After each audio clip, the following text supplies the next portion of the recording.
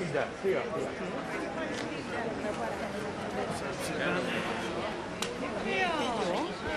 Hát tökéletes, de mondjuk egy, a helyedben még egy centiben így balra áll.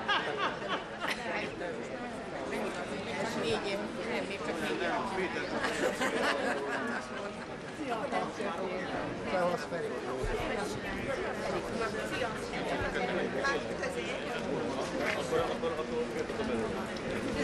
Thank you.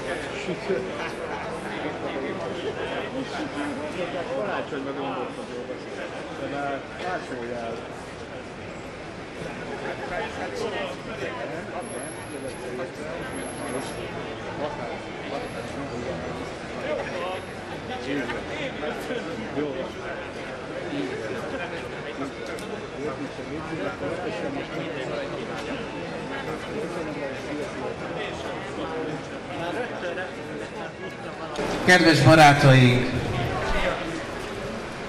A Főnix mozgalom nevében köszöntelek titeket, és elsőként szeretném megköszönni a rendőrségnek a szíves és konstruktív együttműködését ebben a rendezvényben.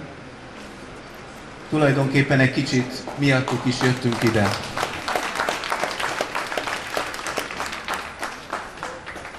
Egyben szeretném megköszönni mindazoknak a kedves, jó akaratú embereknek a segítségét, támogatását, akik hónapok óta adományokkal, helyjel és különböző eszközökkel segítik a mozgalmat. Ahogy említettem, a Főnix mozgalom nevében köszöntelek titeket.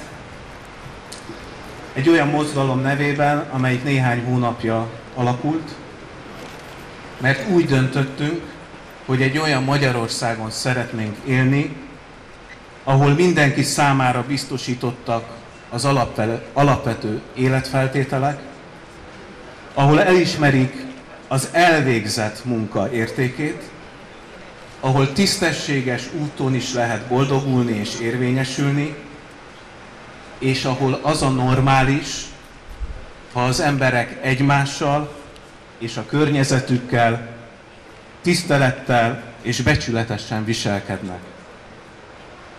Ahol a közjót, az emberi méltóságot és az aggasztóan rövid életünk legalapvetőbb feltételeit egy közösen elfogadott, szerethető és érthető alapokmány védi és szabályozza, ahol a legfontosabb erkölcsi, közösségi parancsokat biztosítja a jog.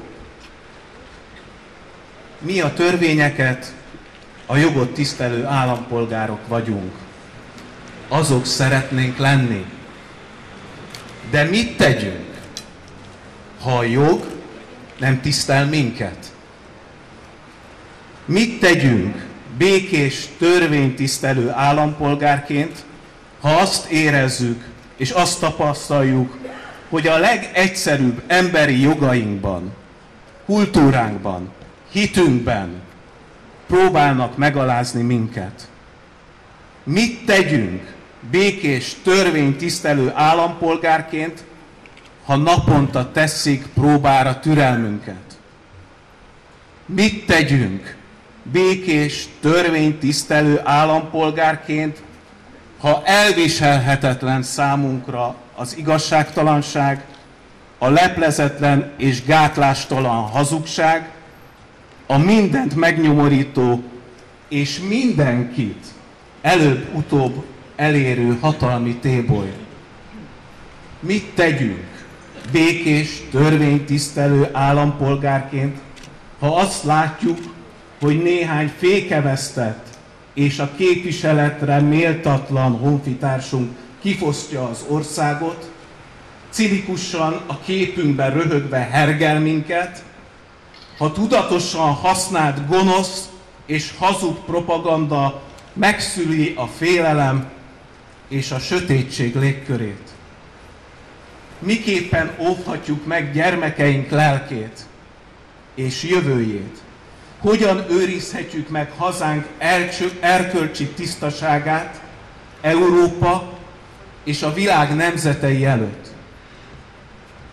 És hogyan vigyázhatunk azokra, akik azért vannak, hogy vigyázzanak ránk? Akik arra esküdtek, hogy védelmezik az állampolgári jogokat, és a nép érdekeinek megfelelően járnak el meg kell kérdeznünk, mire esküdtetek, kit szolgáltok, kit védtek, mert a rendőrség, az adóhatóság, az ügyészség már többször okozott csalódás nekünk, egyszerű állampolgároknak azzal, hogy nyilvánvaló gazemberségek, felelőtlenségek, és korrupciós ügyek elkövetőinek elmulasztotta a felelősségre vonását. Emlékezzünk és ne felejtsük a kamupártokra, a bevándorlási programra, amin csak 60 milliárdot buktunk, mi valamennyien.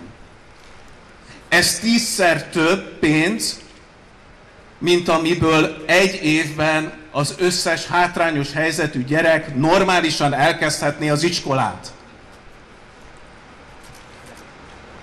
Vagy gondoljunk a Magyar Nemzeti Bank alapítványaira, a súlyos százmilliárdokra.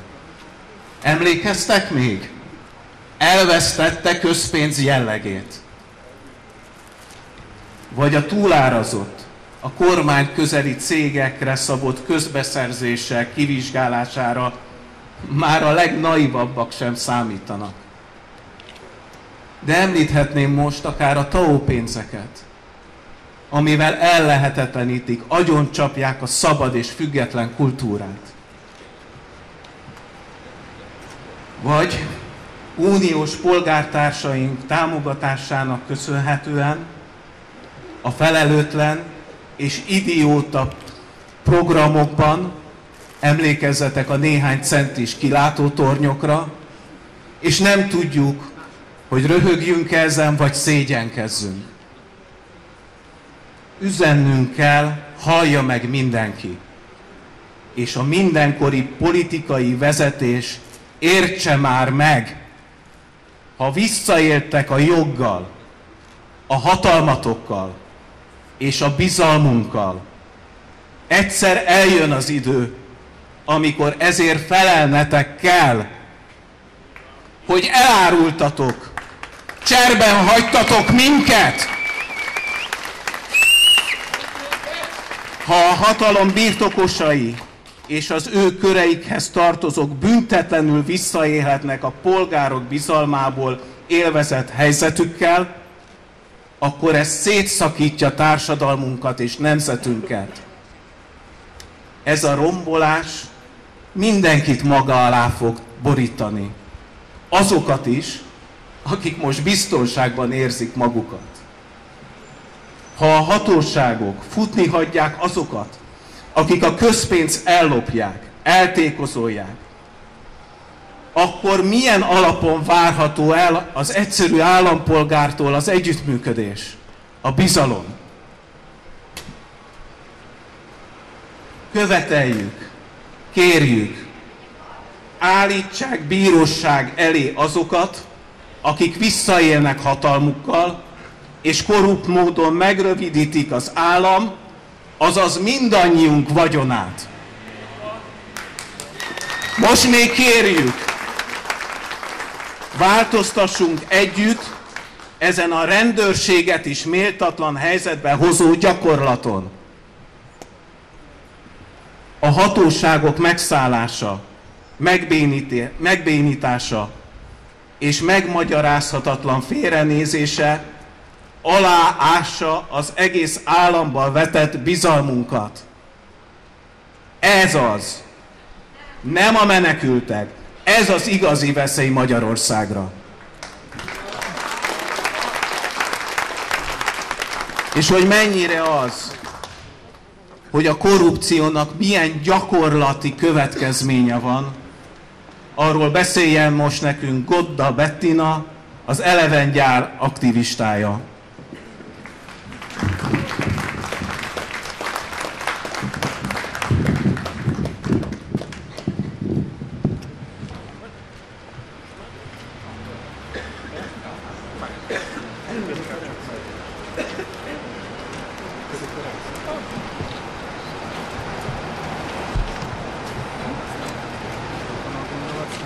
Szép estét kívánok mindenkinek! Én Gonda Bettina vagyok, ahogy az előbb is hallhatták, az Eleven gyár tagja, egyetemista hallgató. Én azért vagyok ma itt, mert az ügyészség megszüntette a nyomozást az Elios ügyben bűncselekmény hiányában.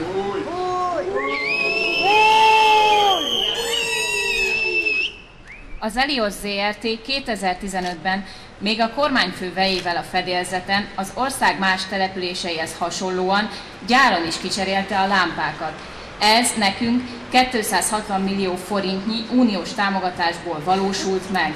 Azóta sajnos nincs olyan világos esténként, mikor felkapcsolják a lámpákat, mint az előtt volt. Ez kissé megnehezíti az ember mindennapjait. Az én életemben leginkább a futásnál van jelen ez, hiszen én rendszeresen futok. A házunk melletti Mátyás Király utca sarkán szoktam ö, kezdeni ugye a futást, és az első probléma a házunkhoz közeli jókai, és mint említettem, Mátyás Király utca sarkán jelentkezik. Itt ugyanis nincsen lámpa a kereszteződésnél, emiatt sötét a sarok. Igaz, ennek még nincs közeti bolthoz. Ezután jön egy egyenes szakasz, ám a Jókai utca vége katasztrofális, itt már muszáj világítanom a telefonommal, majd, majd következik egy újabb homályos sarok. Rendszerint ilyen világító telefonnal kell, hogy fussak, ami közel sem ideális, mindezt egy olyan részen, ahol elvileg világítania kellene, Régebben, az Elios időkben lehetett, ö, bocsánat, ahol világítania kellene a lámpáknak. Hozzá kell tenni, hogy a járdák minősége is problémás gyálon, és amikor a sötétség, illetve a töredezett, sérült járdák keverednek, na, az a legnagyobb kihívás. Emiatt sokszor kiesek a ritmusból, mert meg kell álljak a sötétebb utcaszakaszokon. Egy szó mint száz, Tiborcék lámpa cseréje előtt jobb volt a helyzet gyálon, pedig több mint negyed milliárd forintot adtunk a kormányfő vejének, illetve a cégének. Az eleven gyállal minden vasárnap kint vagyunk a piacon, ahol beszélgetünk az emberekkel, és sokan panaszkodnak a közvilágítás és a járdák minőségére is. Sajnos akad olyan is, aki emiatt szerzett már sérülést. Ahogyan mi is a szervezettel, úgy már ellenzéki képviselő is kikérte gyáron a szerződést, a műszaki adatokat, valamint a pénzügyi ütemezés a polgármestertől az Elios ügyel kapcsolatban, aki csak annyit mondott erre, hogy mindent megtalálunk a város honlapján. Ez azonban nem teljesen igaz, mert a szerződésen és a mellékleteken kívül, ami valóban kikerült a honlapra a mi nyomásunkra, a további adatok nem állnak a rendelkezésünkre. A műszaki adatok, valamint a pénzügyi ütemezés üzleti titokra hivatkozva nem adható ki. Ezeket a mai napig nem kaptuk meg. Minket is megdöbbentett az a hír, hogy megszüntették az eljárást az Elios ügyben, hiszen az Olaf nem így vélekedik a helyzetről, és ez több, mint aggasztó. Itt felmerül a kérdés, hogy vajon a gyáli polgármestertől is bekérték az adatokat, vagy elmaradt, mint a siófoki esetben? Köszönöm.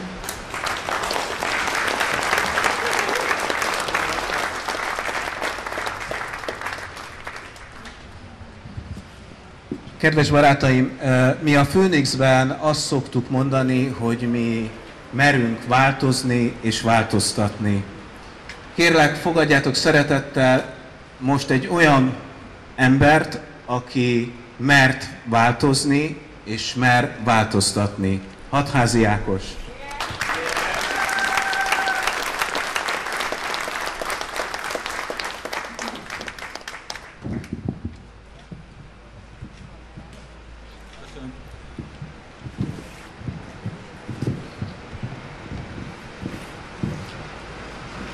Köszönöm szépen, én nagyon remélem, hogy én nem sokat változtam, én legalábbis úgy érzem, hogy túl sokat nem változtam. Köszönöm szépen, akik eljöttek, azoknak is, akik a mai napon írták alá itt az aláírás gyűjtő íveket, az Európai Uniós ügyészséget kikényszerítő aláírás gyűjtő ívet, és annak az úrnak is, aki Gyuláról 600 darab aláírást hozott be egymaga.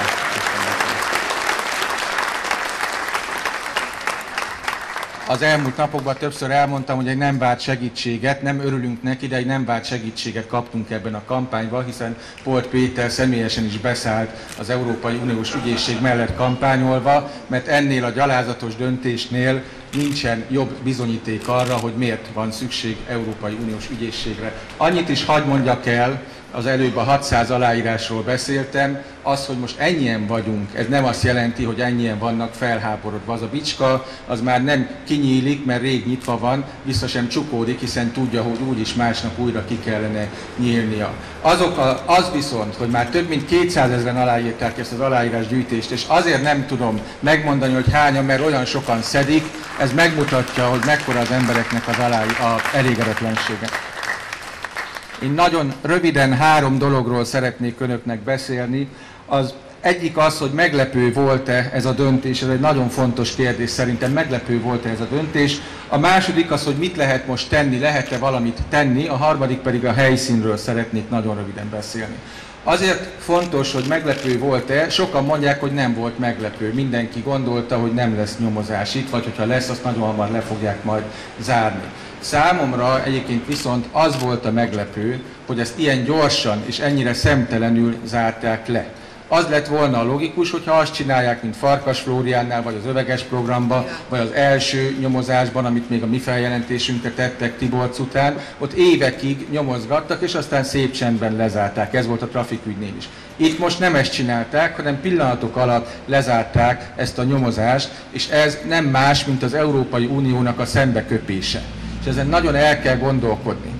Ugyanis erről, ebből az következik, hogy a magyar kormány Orbánék gyakorlatilag lemondtak az Európai Uniós támogatásokról. Ezer milliárd forintot már most is felfüggesztett az Európai Unió a rengeteg tény miatt, amelyik a ezeknek a pénzeknek az ellopásáról szól. Azzal, hogy most oda mentünk, szembeköptük őket, gyakorlatilag be se kértünk adatokat, ki se hallgattunk embereket ennél a nyomozásnál, gyakorlatilag arról van szó, hogy Orbánék beáraszták azt, hogy az Európai Unió nem fogja folyósítani egész hosszú ideig ezeket a pénzeket. Megteheti, mert annyi tény van nála, hogy nem kell döntést hozni, hanem egész egyszerűen ezek miatt a tények miatt nem fogja folyósítani. Ezzel a szembeköpéssel a miniszterelnök megtette már a harmadik lépést arra, hogy kivezesse Magyarországot az Európai Unióból, és sajnos az elmúlt héten a negyedik lépést is megtette, amikor bejelentette, hogy majd a kínai elvtársak pénzében fogunk ezentúl eladósodni. Ez azt jelentette, hogy ő már nem számol az Európai Uniós pénzekkel, és azt, hogyha nem jönnek ezek a támogatások, egyetlen egy dologra akarja használni, arra, hogy a következő hónapokban ezzel hetszelje az embereket, ezzel helgelje az embereket Európa ellen. Nem volt, számomra tehát meglepő volt ez a döntés, még akkor is, hogyha tudtuk, hogy mi lesz a nyomozásnak, az idézőjeles nyomozásnak a vége. A Következő fontos dolog, hogy mit lehet tenni, lehet-e valamit tenni. Az a szerencsénk, hogy a felháborodáson kívül jelen pillanatban igenis, hogy lehet tenni, sőt kell is tenni, dolgozni kell. Azt kell csinálni, amit az úr is csinált, behozott 600 aláírást Gyuláról. Nagyon-nagyon sokan, még egyszer mondom, nem tudom, nem tudom most jelen pillanatban megmondani, hogy hányan, nagyon-nagyon sokan gyűjtik saját környezetükben az aláírásokat, bekopogtatnak. Kérdezik tőlem, hogy lehet-e egy millió aláírást összeszedni, hogy ne lehetne egy millió aláírást összeszedni. Hogyha tízezer olyan ember van, aki bekopogtat 200 lakásba, százan alá fogják írni. Ez a tapasztalat. Erről számolnak be azok már, akik csinálják. Akkor, hogyha amíg jó idő van, kimegyünk és minden nap 50 aláírást összeszedünk, sokan meg lesznek ezek az aláírások. És nagyon fontos, hogy azzal, hogyha ezt megtesszük, nem csak a korrupcióra mondunk nemet, ez is egy nagyon jó dolog, amikor magunknak be tudjuk bizonyítani, hogy nem a magyarok korruptak, hanem a magyar kormány a korrupt. Nem csak erre mondunk nemet, hanem Európára mondunk igent. Nem az a cél, hogy ezeket a támogatásokat leállítsuk, ez egy borzasztó rossz cél lenne, nem az a cél. Az a cél, hogy a kontrollálatlanul ellopható támogatásokat leállítsuk. És ehhez most nagyon jó, nem csak beszédeket kell mondani, hanem tehetünk. Önök is tehetnek, mindenki tehet, öt, otthon is tehetnek, Márta Derecskén tehetnek, ahol száz aláírást beküldtek valamelyik nap érkezett postán. Mindenki tehet ezért a célért. A...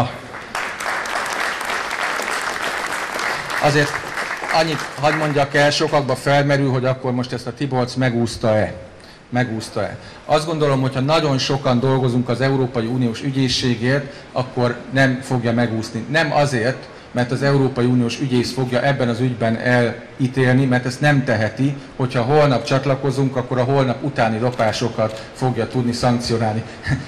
Viszont az a megnyugtató, hogy lesznek. Ennél még megnyugtatóbb az, hogy a Tibolc ügy sem évült el még 2022-ig mert ez bűnszövetségben elkövetett hűtlen kezelés. Ennek az elévülése meglehetősen hosszú. Még fontosabb, még fontosabb viszont, hogy az a hivatali visszaélés, amit itt a Port Péter és az a nyomozó, aki aláírta ezt a gyalázatos nyomozást, elkövetett, az sem évül még el jó néhány évig, és ezzel és majd ezeknek az embereknek, ezeknek az embereknek lesz lehetőségük, hogy elmondják, hogy kiszólította fel őket ezekre az egészen gyalázatos tettekre. Legvégül pedig a helyszínről szeretnék beszélni. Számomra nagyon szomorú hogy az a szó, amit, ami egyébként egy gyönyörű szó az, hogy nemzet, és mindannyiunknak nagyon sokat jelent a nemzet meg a haza, az gyakorlatilag ma már a lopásnak és a csalásnak a szinonimája. Itt van egy olyan, hogy nemzeti nyomozóiroda, de tudunk a nemzeti trafikokról, a nemzeti bank is tulajdonképpen ide tartozik, és a, hagyd mondjak még olyat, van olyan, hogy nemzeti rugalmassági terv is, amit most nem fogok elmesélni, de higgyék el, hogy nagyon szomorú dolog.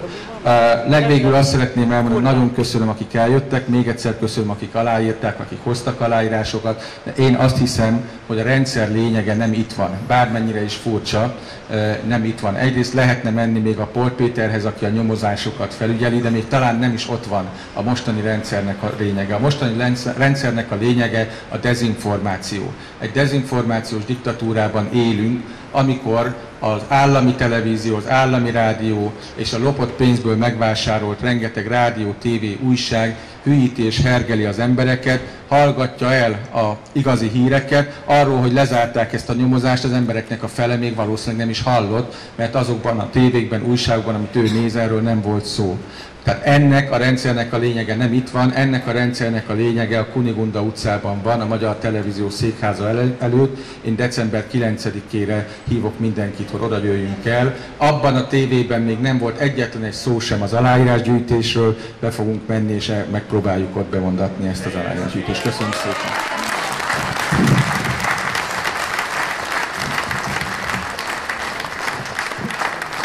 Köszönjük szépen! Most pedig, most pedig elő a lámpákkal, és arra kérek mindenkit, talán többen emlékeztek arra az emlékezetes pillanatra, amikor a, egy tanítanék tüntetésen a Kossuth téren 5 percig csöndben voltunk. Emlékeztek erre? Én most azt kérem, hogy egy picit arra is emlékezve, arra az eseményre, hogy csöndben vonuljunk körbe az épület körül, a háztömb körül, és utána itt találkozunk, és adjuk meg ennek a, az eseménynek, ennek a tiltakozásnak a néma méltóságát. Köszönöm szépen, hogy eljöttetek.